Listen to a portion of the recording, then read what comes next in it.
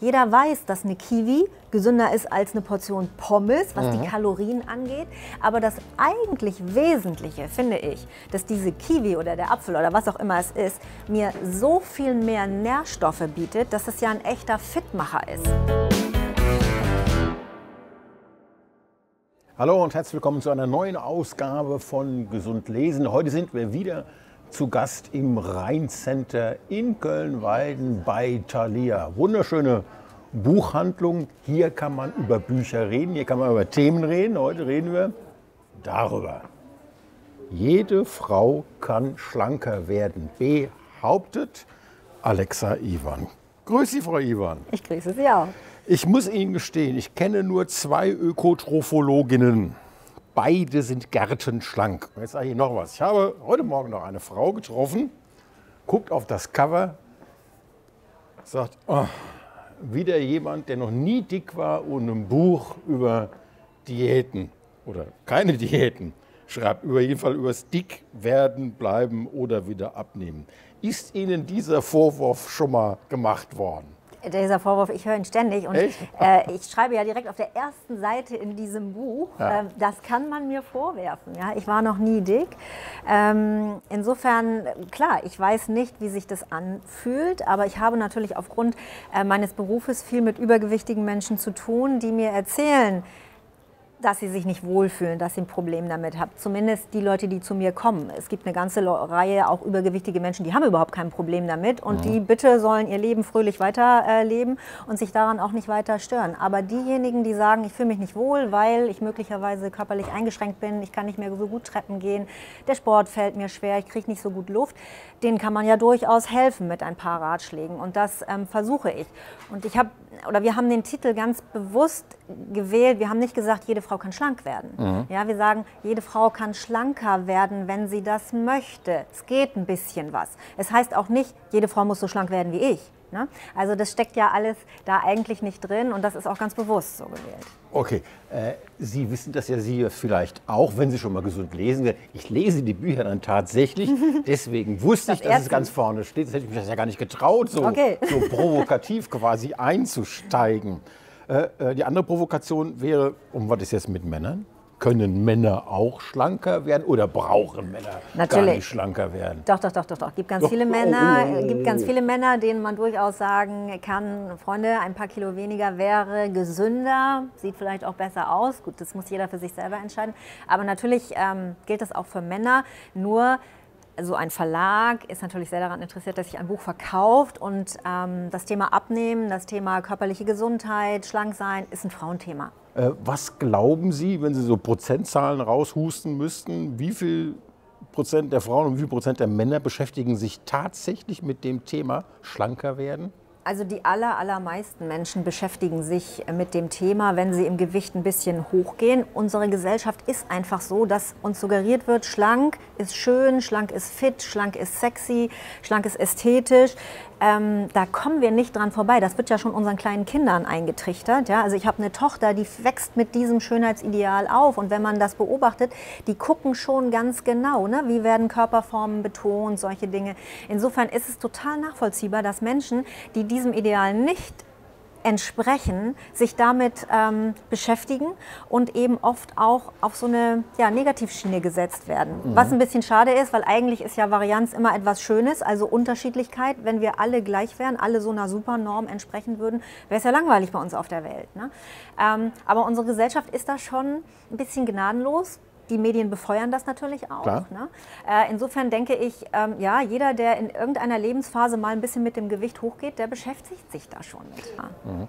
Äh, alle Menschen, die so ein bisschen kognitiver ausgerichtet sind, die ja. würden ja sagen, ach, dieser ganze Alarm immer um den ganzen Diätenquatsch, eigentlich ist es doch ganz einfach. Ja? Es ist eine Bilanz, muss hergestellt werden. Wenn mehr reinkommt, als rausgeht, äh, dann muss man dick werden. Umgekehrt nimmt man halt eben einfach ab. So einfach? Ja, also ganz so einfach ist es nicht. Wir müssen, glaube ich, mal unterscheiden. Also es gibt ja einerseits diesen Bereich von Menschen, die krankhaft übergewichtig sind. Die brauchen auch eine sehr viel ähm, größere Betreuung von mehr Experten. Und dann haben wir die Leute, die einfach so ein bisschen übergewichtig haben, aber ansonsten sind die gesund. Und an die richte ich mich ja hauptsächlich mit dem mhm. Buch. Da geht es ja gar nicht darum, 80 äh, Kilo abzunehmen oder 50 Kilo abzunehmen, sondern mehr, es geht um gesunde Ernährung. Deswegen sage ich ja auch das Anti-Diät-Buch. Ich möchte nicht, dass Menschen pausenlos auf Diät leben, bloß weil sie mal 5 Kilo verlieren äh, äh, wollen. Mhm. Und das ist, glaube ich, eine ganz wichtige Entscheidung, Unterscheidung, die man machen muss. Ähm, wir haben jahrelang gelernt, eine Kalorie ist eine Kalorie und wenn du weniger isst als dein Bedarf, dann nimmst du ab. Das stimmt äh, rechnerisch äh, auch. Das Problem an der Sache ist nur, wenn man das macht, dann bestraft einen der Körper quasi so ein bisschen dafür, dass man abnimmt. Und man muss dann immer weniger essen in der letztlichen Konsequenz, um das niedrigere Gewicht dann zu halten. Ja, das ist in der Körper das, doch blöd, oder? Das ist natürlich ein bisschen bescheuert irgendwie ja, eigentlich, genau. ne? also in unserer, in unserer heutigen äh, Zeit. Und insofern ähm, diskutieren sehr viele Experten heute darüber, und ich bin da auch ein großer Freund äh, von, dass man eher die Relation der Nährstoffe verschieben sollte.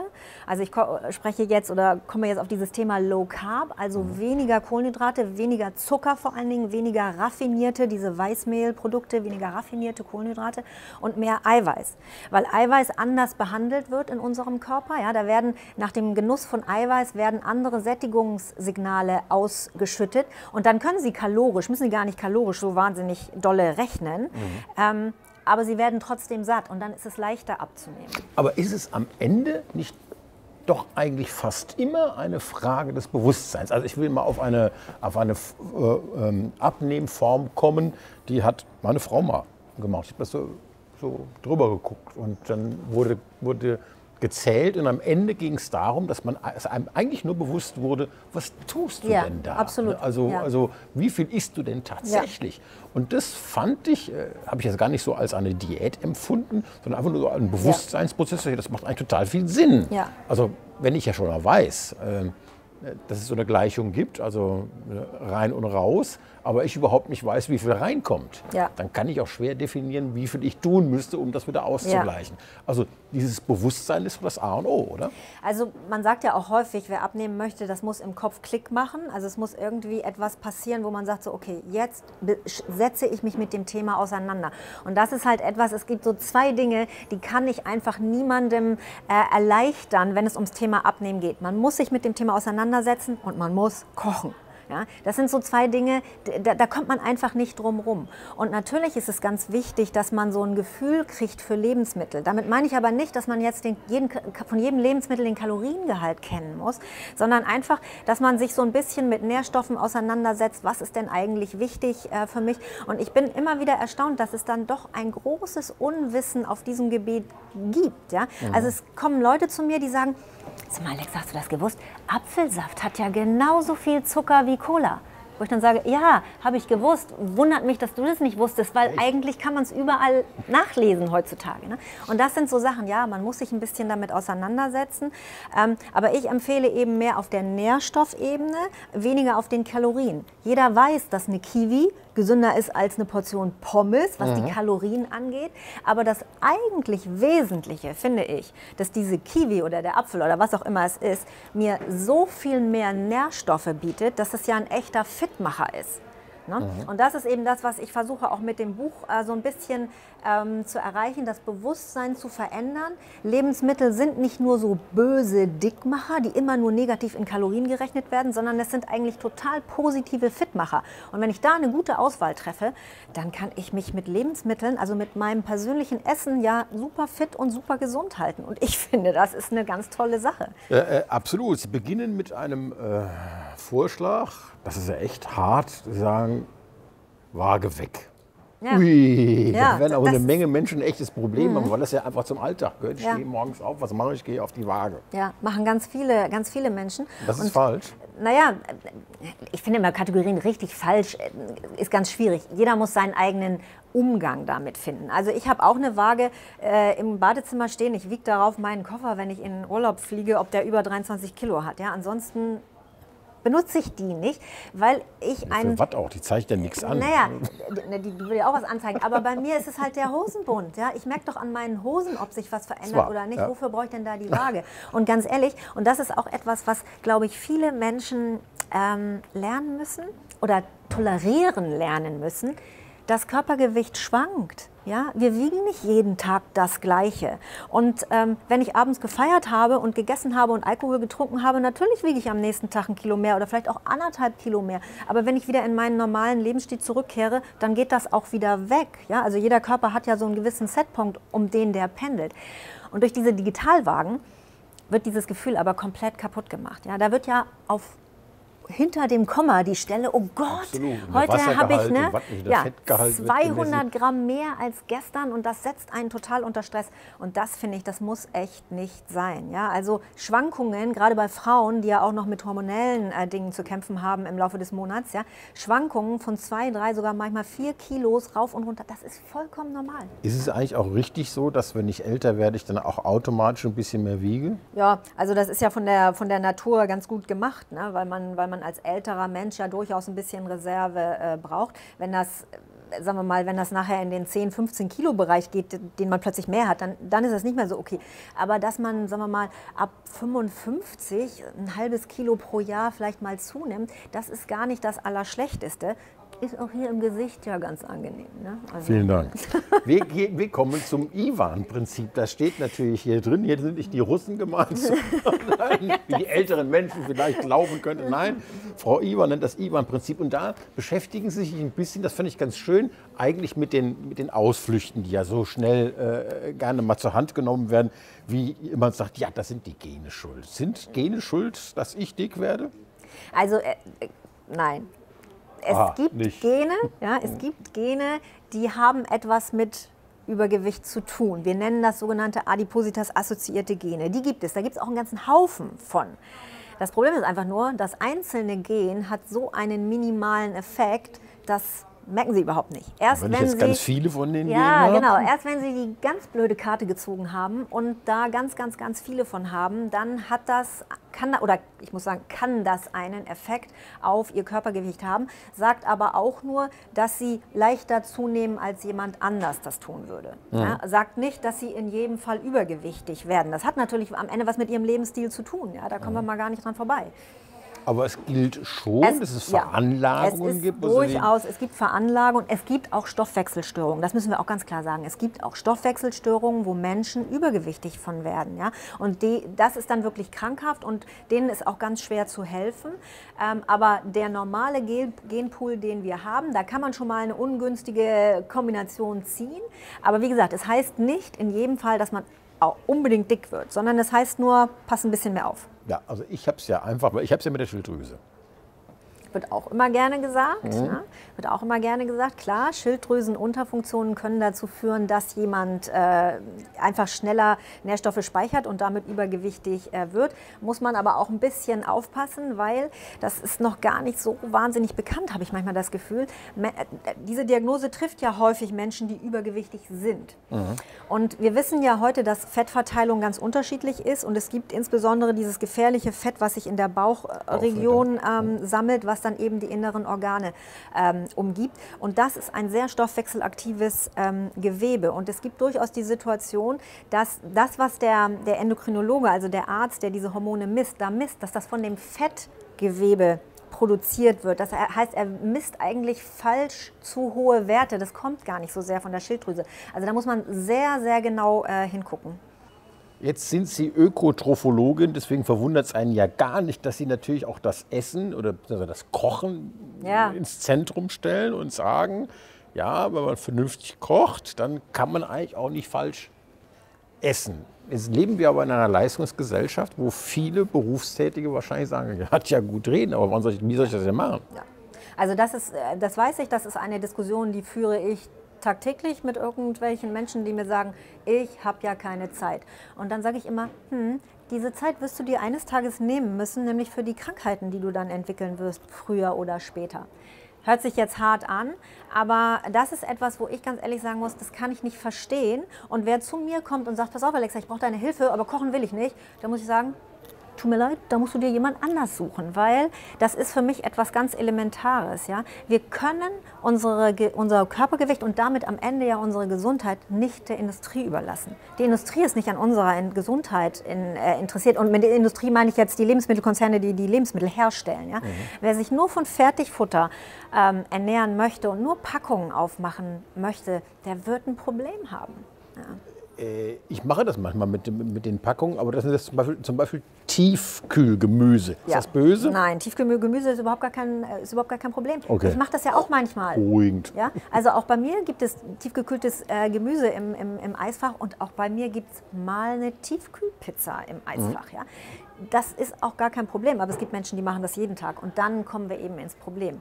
Und die Leute, die sagen, ich habe keine Zeit, denen sage ich immer, naja, es gibt ja auch noch einen Mittelweg zwischen, ich mache alles nur komplett aus der Packung und ich koche von morgens bis abends jede Mahlzeit mit jeder Zutat selber. Man kann ja durchaus so ein paar Halbfertigprodukte einbauen, die aber aufpeppen mit frischem Gemüse, mit frischem Obst, mit die Soße selber machen. Ja? Sie können einen, einen fertigen Pizzateig von mir aus kaufen, aber das, was Sie da drauf tun, mhm. das können Sie doch bitte selber entscheiden. Das ist auch nicht so schwierig und das, das, das dauert auch nicht lange. Ne? Also das sind ja so ein bisschen so Sachen, wo man vielleicht mit ein bisschen Fantasie doch auf einen guten Weg kommen kann.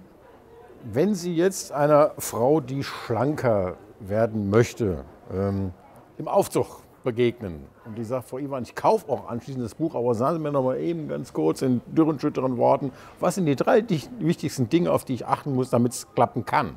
Also in erster Linie würde ich immer sagen, ernähren Sie sich von echten Lebensmitteln. Ja, also das, was heute so Real Food, Clean Eating und das sind ja so Schlagworte, ne, die durch die Gegend geistern echte Lebensmittel, also möglichst wenig Packungen aufmachen, sondern die Sachen lose äh, kaufen, das was unverarbeitet ist. Damit hat man schon mal ganz viel gewonnen. Ähm, Zucker ist das größte Problem, was wir haben heutzutage nach meiner Einschätzung. Also Zucker und raffinierte Kohlenhydrate, also Weißmehlprodukte möglichst runterfahren. Und was ich ganz wichtig finde, weil damit habe ich mich in letzter Zeit viel beschäftigt, essen Sie häufiger mal so einen richtig fetten Seefisch, also so einen Lachs, einen Hering, eine Makrele, weil da sind Stoffe drin, dieses, dieses Fischfett, die extrem gut sind für die Gesundheit. Und von diesem Fett muss man auch nicht so eine Angst haben, weil das wird gar nicht in den Energiehaushalt eingeschleust, ja, sondern das sind Schutzstoffe, die unser Herz schützen und die wirklich ähm, ganz, ganz tolle Auswirkungen im Sinne von äh, Gesundheitsprävention haben. Und Sie haben noch einen schönen Tipp, den fand ich wirklich nett, wo Sie, wo Sie beschrieben haben, äh, wenn jemand sagt, ich äh, äh, habe keine Zeit zum Kochen äh, und Sie sich dann eine Küche angucken, sagen, da ist noch nicht mal ein Messer, mit dem man eine Möhre ja. schälen könnte. Ja, also dass sozusagen auch viele gar nicht darauf eingerichtet sind, äh, wirklich zu kochen ja. und dass es dann natürlich auch nicht, ja. dass es dann mühsam ist und gar nicht funktionieren kann. Ja, also es gibt ja so Menschen, die haben so Showküchen, ne? mhm. da die sehen super aus, passiert aber gar nichts in der Küche. Und äh, ich habe durchaus auch äh, Familien erlebt, wo, wo es keine Messer gab, keine Schneidebrecher gab, keine Handtücher hinterher, also wo wirklich nur aus Packungen oder Gläsern Sachen in den Topf getan wurden und man sich die Finger nicht schmutzig machen musste. Ne?